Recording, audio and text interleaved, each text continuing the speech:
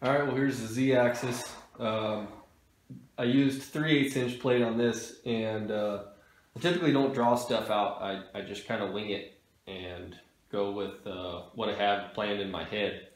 And uh, on this circumstance, I had to draw this out to figure out my depth um, from here and, and switching from half inch plate to 3 8 inch plate, put my where my spindle will be just at the um, edge of where 48 inches would be.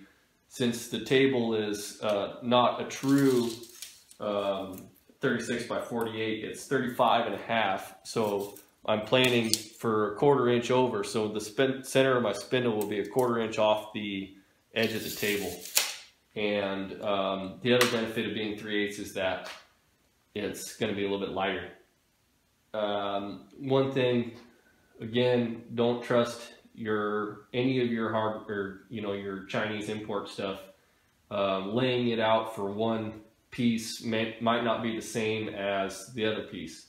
So um, I have some holes that are off again, and uh, I'll just have to open them up and and enable to fit the hardware.